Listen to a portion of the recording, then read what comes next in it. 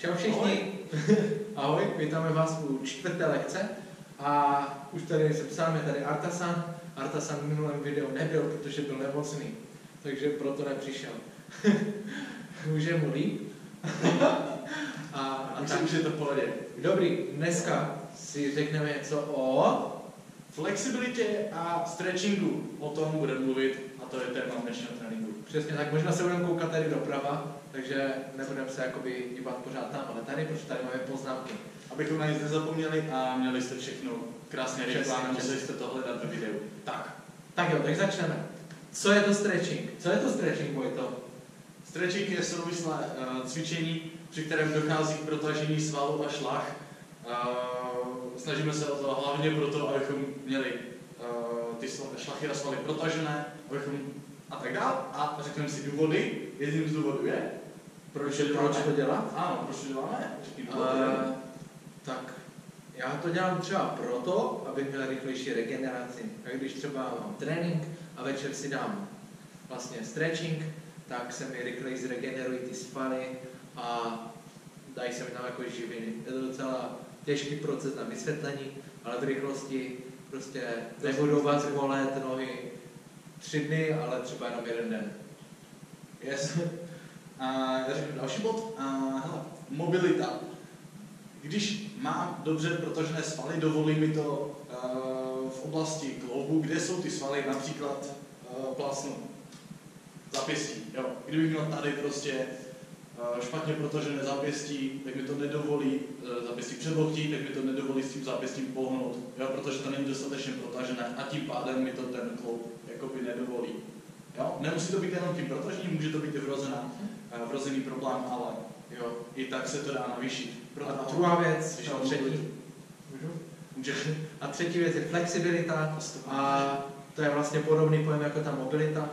A flexibilita je vlastně ta ohebnost. Jo? Jak se můžete ohýbat, pružnost, roztažnost. Jo? Třeba lesci, co lezou po skalách, tak jakože profilesci, tak třeba nemůžou dát prsty takhle nahoru a mají je třeba takhle a ví, že prostě nedají, jo? protože oni furt lezou, mají to stuhle a neprotahují se takhle, aby prostě, nevím, nevím proč. Není problém, že se protahují, určitě se protahují, protože vidí, že je to super a má to mnoho dalších důvodů, má to asi 11 důvodů, o kterých si nemůžeme úplně dlouze povídat. Nebo mohli bychom, ale bylo by to no, pro vás, další dobu. Jo, pro vás je nejdůležitější, že budete víc protažení, víc prostě budete mít vyšší rozsah, flexibilní rozsah a ulehčí vám to vlastně regeneraci. Yes. Tak jo, jdeme na to, řekneme si čtyři velké oblasti uh, protažení, ukážeme si přímo cviky, začneme hlavou, pak se přesuneme na ruce, na čest, to znamená na trup a potom na nohy od zadku dolů. Tak jo, uh, začneme asi u hlavy. Yes, uh, já se tady takhle dřepnu před vás, ať to vidíte. Jo? A vezmeš si ruce potom? Já si vezmu ruce, klidně. Tak jo. Tak jo. Tak u hlavy dáme si takové, takových pár důležitých cviků. Já jenom v rychlosti ukážu a když vy budete dělat stretching, tak určitě ne, neměli byste to dělat tak jako já, třeba, že ukážu takhle cvik a to stačí. Měli byste tam vydržet nějakou dobu v tom. Jo? Je to přibližně minimálně fakt 30 sekund, ale když tam jsou ty svaly větší, třeba u hlavy třeba jsou menší svaly, tam bych vydržel třeba minutku a když budu u noh, tak tam můžu vydržet třeba pět minut a bude to prostě lepší, protože ty svaly jsou fakt velké. Uh, druhý bod, důležité dýchat. Nádech a výdech. Jo, zhluboka, pořádně dýchat. Takže tak, dvě důležité věci. Je tam čas důležitý, takže delší dobu, než vám ukazuju, minimálně 30 sekund a, a pak dýchání. Jo? Tak, já, dovol, já si dovolím doplnit třetí věc, a to je dávat si pozor na to, jakým způsobem to protahu, nejít uh, zbytečně do obrovských rozsahů, uh, kde bych si mohl ublížit. Jo? Hmm. Stačí jít tam, kde vás to tahá, tam vydržet těch 30 vteřin a brát to vážně. Když, to budu, když to budu dělat kraviny, což doufám, že neděláte, tak by se mohlo stát, že budete mít úraz. Jo? Když se z ničeho nic tady dostáhnu jo, do provazu nebo roznožky nebo něco, tak může být problém. Bacha na to. Mm-hmm. Tak jo, tak jdem na to. Takže začneme teda hlavou. Uh, pokud chci protáhnout svaly, co jsou tady vzadu, takže znamená vzadu za krkem a vlastně i trošku zad, protože ty šlachy se upínají až tady dole, tak hlavu chytnu takhle, dám ji dolů, mám narovnané záda, nejsem tam nějak zhrbený a tlačím dolů. Jo? Ramena taky snažím se tlačit dolů u tohohle cviku. Takže držím hlavu a tlačím hlavu dolů. Jo? A, a dýchám. Druhý cvik tady na předek. Jak se jmenuje tady ten sval? Musculus sternocleidomastoideus. Je to sval uh, krční, který se upíná až tady právě na uh, jeda. na sterno, to je hrudní kost. Tak. Přesně tak. tak jo, takže tady tohle protahu tak, že jsem zase narovnaný a hlavu vlastně zakládím. Snažím se tady dýchat do tady té části. Můžu se hlavně pomoct rukama, pokud mi to nejde dotáhnout Přesně eh, tak. samo o sobě, i když věřím, že to není úplně problém. Přesně. Tak jo. Další cvik, to je na vlastně takový křížový Mám na ten boční tady. na ten boční. No. A je to tak, že se koukám mírně doprava, hlavu chytám takhle ze strany a snažím se tu hlavu tlačit dolů. Jo, tady ten, to rameno zase taky dolů a zase dýchám. To samé na druhou stranu. A takhle. Tak, poslední cvik, co může být, tak je, že hlavu takhle dám na stranu a tady tuhle ruku, rameno tlačím směrem dolů. Jo? Zase dýchám. A to samé i na druhou stranu. Takže tak, tohle asi k hlavě. Vojta přejde na ruce. Tak, jdeme na ruce. Můžu jít blíž, výborně. Já zase budu eh, takhle dopředu, když tak, ať to vidět ze všech úhlů. Tak. Fajn. A začneme na, del, eh, takhle, na deltovém svalu, který je dost těžké protáhnout, zvláště když nemáme hrazdu. A můžeme si ukázat, jak protáhnout přední hlavu toho deltového svalu tady. Jo, tu přední. A, a to ukážu bohužel z boku. Dá se to tak. Když dám takhle za sebe ruce, opřu si ho zem, dávám si pozor na to, ať nemám a, propadlý loket, snažím se ho co nejvíce fixovat a držet, jak to jde. Další věc, otevřu bruč, jdu dolů, snažím se lehnout si. No, stačí kousek a už cítím, jestli to napnu. Napne, tak, napnulo. To, to teď tak možná, jestli to jde vidět. Šup. Jo, jde to vidět. Jde to vidět krásně. Dobrý. Tak, takhle se dá protáhnout ta přední, uh, ta přední hlava, ještě takhle z boku, zase. A tady už cílíme plus minus na obě, jak na zadní, tak na to uh, boční. Snažím se o to, abych netelefonoval, takže rameno si hodím do deprese, chytnu se a dotáhnu si to. Jo? Některým z vás bude ta, uh, ten tah vystřelovat, nebo můžete ho cítit až vzadu, jo, na, na trapeziu, na té spodní části trapezu. Ještě doplním, tu ruku můžete mít buď to z vrchu nebo ze spod a tahat tím směrem, kde ukazuje ta ruka, kterou, kterou vlastně drží. Jo. A vlastně rameno tlačím dolů. Mhm. Tak triceps? Tak. Triceps. Triceps. Jednoduchá věcička, zvednu si ruku a položím si takhle mezi lopatky. Fajn. Snažím se o to, abych nenaro, nebo abych eh, neměl změny v pateři, takže hrudník pořád držím tak, jak je, hlavu, uh, s hlavou si můžu začátku uhnout a pak se snažím ji vrátit zpět. A ještě si to celé srovnám, spevním a dotáhnu druhou rukou. Tak, tím stylem. Jo? Plus minus tak to by to mohlo vypadat. Tak, druhá strana. Zase stejně. Tak biceps. Tak, tak. Biceps. A, lehce komplexnější a, cvik, který nám pomůže i s bicepsem. Takhle si sednu bokem. Zase opřu si ruce o. Podle náročnosti, pokud jsem zkušenější, můžu si ty ruce dát blíž, pokud méně, tak si je dám dále. Čím blíž, tím hůř a čím více za sebou, tak taky. Fajn. Zase hlídám se loket, otevřu hrudník, udělám velký prsa a zvednu zadek co nejvíc to jde. A voilà, cítíme biceps. Krásné. Tak, pokud to mám málo, tak zase můžu si přidat. A nebo, nebo ještě je tady jeden tip, můžu popochodovat kousíček dopředu. Najednou je tam změna. Tak, můžu si pohrát i s nastavením rukou. A můžu dát za sebe. Zkoušíte, zkoušíte. Je to komplexní cvik. Tak. A jdem dál. Poslední část. Předloktí. Fajn. Několik způsobů, jak to protáhnout. My použijeme jeden. A to bude velmi jednoduchý. Uh, můžu se opřít o zem nebo si to chytit. Jo, záleží na vás. Princip je stejný. Snažím se fixovat loket a co nejvíce k sobě dotáhnout dlaň. Chytám se za prsty, protože když se za ně nechytnu, tak ten tah povolí. Jakmile ty, ruce, eh, ty prsty napnu, tak cítím tah. Fajn. Toto je druhá ruka. Ale tady fakt bacha na ten loket, ať, ať nejde úplně nahoru, jo? Přesně, zrovna tady se to stává nejčastěji, kdy to má tu tendenci vystřelovat. Přesně. Tak, nezapomeňme i na druhou, a druhou část. Jo, když to obrátím, stejným způsobem, snažím se stáhnout dolů. Hmm. Tady teďka opak, nedržím ty prsty, ale můžu, je tam trošku jiný tah, ale když si to chytnete nejdřív takhle, zatlačíte a když chytnete potom prsty, tak tam je ten tah trošku větší a Hmm. intenzivnější na tu jednu část. Klidně si můžete zkusit nejdříve sevřít pěst a pak to Jo. přitáhnout k sobě. Jo. Najednou je tam ten úhel úplně jiný, už je to horší, než když jsem tady, tady mám 90, tady méně. Jo, tak tak. Další část bude, bude vlastně trup a začneme prsama. Prsa, to je tady toto, u holky to jde vidět trošku víc než u mužů.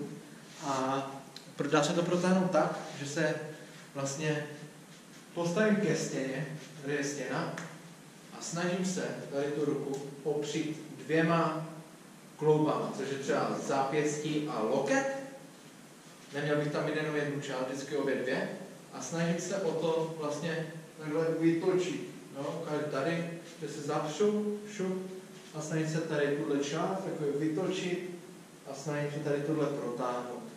Jinak to zabírat dole, když tu ruku mám níž, jinak to zabírat, když to mám nahoře. No, takže vyzkoušet nahoře, dole. No, a i s druhou rukou. Pohrajte si s tím úhlem. A stejný princip, jenom v rychlovce, dá se to udělat i na zemi, pokud nemáte o co se opřít. Udělám ze sebe takhle téčko na zemi, pak se otočím na ruku, kterou potřebuju, zcvaknu lopatky a druhou ruku zvednu, jenom rychlovce. Jo? A téčko, jo, když jsem tam vidět, Jo. téčko, lehnu na ruku, zcvaknu lopatky, zvednu. Přesně tak. Ještě si můžu pomoct, otočím tam malíček. Tak jo, mám. Další část je břicho, které občas bolí a není moc třeba protahovat, ale jestli vás fakt bolí fest hodně, tak je to jednoduchý cvik a to je, že si lehnu a snažím se protáhnout vlastně břicho. Tady časté chyby, co se stávají, tak je, že mám ty ramena úplně takhle puštěné. A důležité je s těma ramenama být takhle a mít položenou šulínka nebo uh, Pánev. pánev nebo pipinky. Jo, zase dýchám u té části. A můžu si protáhnout i bok, ne, že to ležím takhle na boku, zase rameno a dýchám do tady té části. Tak, a teďka záda. Záda jsou trošku těžké na protažení a chcou trošku více času. Jeden takový fajný cvik, tak je, že vlastně ležím, nebo vlastně jsem v sejze, lehnu si hlavu dolů, dám si ruce podél těla a snažím se dýchat, fakt zhluboka a snažit se jakoby ty záda rozevírat. Jako- Snažím se dýchat zem do té, do té oblasti a co nejvíce se v tom uvolnit. Já to spíše uh, cvik na uvolnění než na uh, stretching, ale když si tomu pomůžete, a blíž, když se tam dostanu postupně, tak jako na začátku si cvaknu hlavou a s každým nádechem se dostanu o kousek níž, tam vydržím, tak cítím, jak se ten tah pomalinku zvětšuje a cestuje. Teď už to cítím i pánvy, jo? I tady dole těch ruponech. Takže tak. tímhle způsobem se tam dostanu. A je to zase trošku jiné čím jiné. Mhm. Cítíte a hrajete si s tím, kde vás to bolí, kde vás to nebolí a cílíte na to místo přesně. Tak tak. Tak, další takový podobný cvik na záda, tak je, že vlastně sedím sejze a to ukážu takto. Je to hlavně na vršek, na, na lopatkové svaly, mezi lopatkové a vlastně ruku si dám na protější koleno jako si to koleno dám pod, no, tu ruku si dám vlastně pod koleno. Mojím úkolem je vlastně si představit, že tu ruku chci jakoby urvat. Já ji úplně uvolním a i to rameno. A snažím se jakoby urvávat vlastně tu ruku a měl bych fakt cítit mezi lopatkové svaly. Zase stejný princip, funguje, když si něčeho můžu chytit, chytím se a snažím se Hmm. a, na to pověsit. A najednou cítím ty záda. Ale tady hodně opatrně, ať se vám nějak Přesně, ať se nepoškodíte zbytečně. vlastně rameno. Pak tady bezpečně opatrně. Jo, točí fakt jenom lehký tak. Tak. Tak jo? Tak. Tak jdeme asi na zadek. To je největší sval v těle. Eh, je na to takový pěkný cvik a to můžeme začít rovnou v sejze. Kdy si takhle vlastně jdu do kleku, nevím, jestli budu vidět do kočičky. A teďka jednu nohu dám dopředu a vytočím ji dovnitř. Jo? Já bych teďka je to že, vidět. že jsem takhle. Jo? Takže jednak noha vepředu a dám tu nohu dovnitř. Čím víc ji vytočím, tak tím větší to bude mít účinek ten cvik. Takže když tu nohu budu úplně rovně, rovnoběžně, tak to bude hodně cítit. Jo? Ale pak stačí ze začátku lekce. Druhý krok je, že se snažím tou zadní nohou jít co nejdál a snažím se jakoby pokládat vlastně hrudník na tu nohu. Eh, Dávejte bacha, ať vás to nějak takhle nevytáčí, jenom byste jít celou dobu rovně u tohoto cviku. No? Takže jdu a snažím se jít co nejvíc dozadu. Takže tak. A přejdeme na poslední část a to jsou nohy. Tak. Rovnou když jsme v sejze, budeme v ní pokračovat, to je taková oblíbená věcička. Fajn, potáhneme a kvadricepsy. Úplně jednoduše. Já to udělám takhle, lehce z boku. Udělám díru do břicha. Jo, pořádně. Položím si ruce na zad a teď se snažím zvednout zadek do vzduchu. Jo, no to nejde úplně dobře vidět. to zkusím takhle. Tak. Jo. No, zvedám zádek co nejvíc náhodou. Cítím tak od kolen až tady nahoru, eh, tady obsátek. Mhm. Fajn. Toť. No důležité je tady mít zpevněné to břicho, ať tam nejste úplně prohnutí. Jakmile to uděláme takhle, natažení se vypne. Mhm. Jo, je si To je mnohem později. Ať to není ohnutý. Tak, zase pokud jste zkušenější, tam se nohy více našíř, ale hnu si. Je tak. Mhm. Velmi jednoduché. No, druhé takové fajný cvik úplně na stejný sval, takže že si lehnu na bok a snažím se přitáhnout nohu a snažím se zase tlačit pánem dopředu a mít zpevněné břicho. Jo, na obě dvě strany. Zase to funguje na stejném principu, je tam páka, Přesně. tlačí vás to. Uh, nebo tahá vás to. Tak, jdeme na hamstring, to už je trošku komplikovanější. hamstring je spodek. A mě osobně to protahuje nejvíc, když, když si dám překažkový set nebo set takhle a snažím se jít k jedné noze. Tady fakt cítím ten hamstring hodně. Důležitá věc, špička není takhle, ale snažím se jít tlačit co nejblíž k sobě koleno je co nejblíž u země. Jo, nejsem tam nějak takhle. Jo, snažím se fakt narovnat a se jít co nejvíc dopředu. Jo, jestli tam nedošáhnu, nevadí, snažím se třeba i tady, když mě to tahá. Jo, s každým výdechem se snažím níž, níž, níž a dostanu se tam, měl bych to hodně cítit. To samé s druhou nohou a jakmile mám třeba obě dvě nohy, tak můžu se snažit jít a jít dopředu. Jo, pro toho zase trošku jiné partie toho. Jestli jste šikovní, tak bude vás to protahovat víc, když ty nohy dáte dál od sebe, ale to je zase na, na třísla, jo, protažení. Třísaný slon, jo, tady tady to vnitř. protahujete třísla. Tak jo, asi, asi tak. Tak, Druhý, no. druhý cvik ještě na hamstring může být, Jste? když stojím, mám nějakou překážku tady, která je pevná, můžu si tam dát nohu, šup a snažím se zase úplně stejná věc, jít do předklonu. No, tady to fakt cítím hodně, protože to koleno nemá tu tendenci zůstávat nahoře. No, cítím to trošku víc. Tady důležitá věc s tou nohou na zemi. Eh, když mám takhle, protahuje to trošku víc vnitřek. Když tu nohu vytočím dopředu, tak to protahuje víc tady tu část ze spod. Jo? Taky špička tlačím k sobě. Takže tak. Zase s tou špičkou si můžete trošku pohrát. Pro začátek je to jednodušší, když uh, pointujete, když dáváte ty prsty dopředu, pak už horší, když to flexujete. Přesně, přesně. Uh, ještě, ne, ještě mě napadá, komu nejde třeba ten cvik na zadek, tak dá se udělat úplně stejně s tady tou překážkou, že si to dáte takhle bokem a snažíte se jít tam na to. Já mám takový doplnění. No, na nějakou lavičku nebo něco, zase nevím, se chce zdrhnout. Takže máme quadricepsy, hamstringy, zadek. Teďka přejdeme na lítko, to je tady ten spodek. Uh, tři hlavy. Spousta cviků, tři hlavy. A začneme asi tím nejznámějším, pak dáme trošku méně známější. Tak, roznožím se, obě dvě špičky jsou vepředu, opírám se vepředu o zeď rukama, jo, tímhle tím stylem. A jo, snažím se dosáhnout toho, abych, abych měl patu zadní nohy stále na zemi, protože pokud ji nemám na zemi, zase to ten tah vypne a je to o něčem jiném. A snažím se tady tím kolenem co nejít dopředu, ale tak zase, abych nezvedal tu patu. Takže tak. takhle. U stěny je to trošku lehčí, když tam můžete fakt zavřít. Mm. Přesně. To znáte asi z tělocviku všichni. Tak, tak.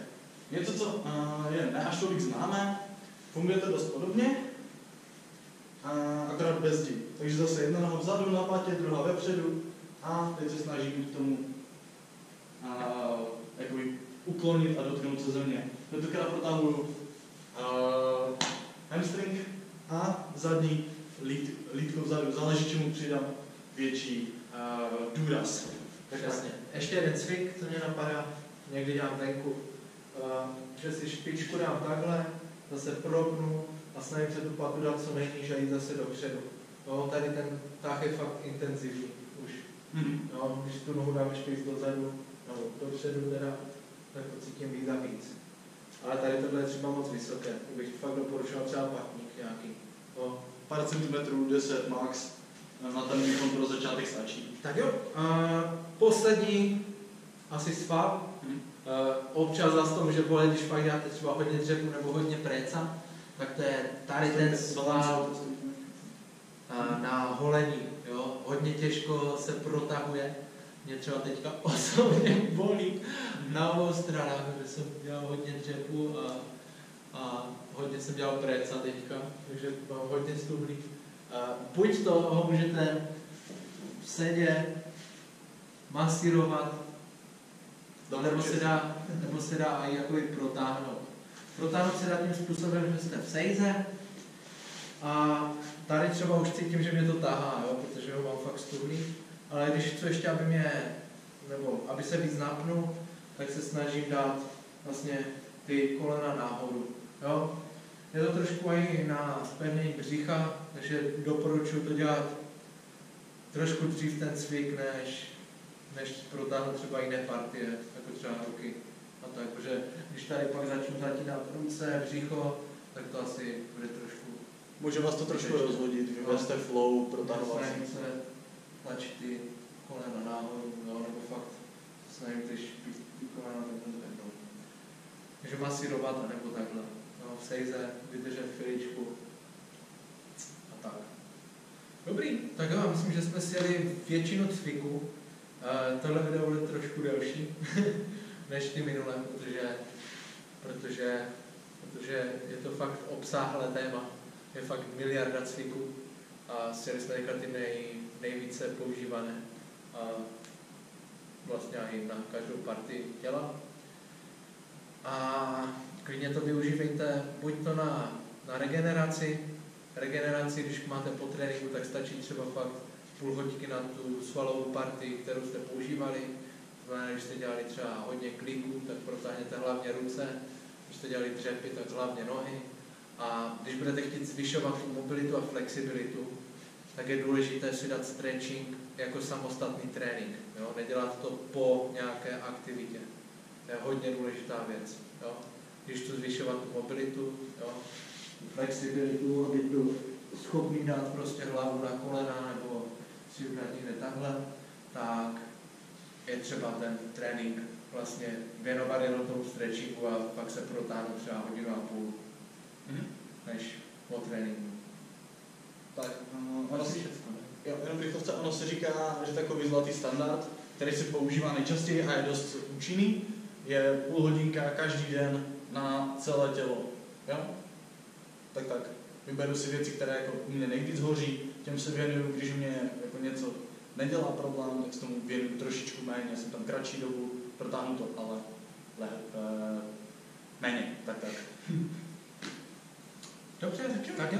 Tak my se s váma loučíme. Mějte si krásně. Příští Příští trénink zase, zase bude ve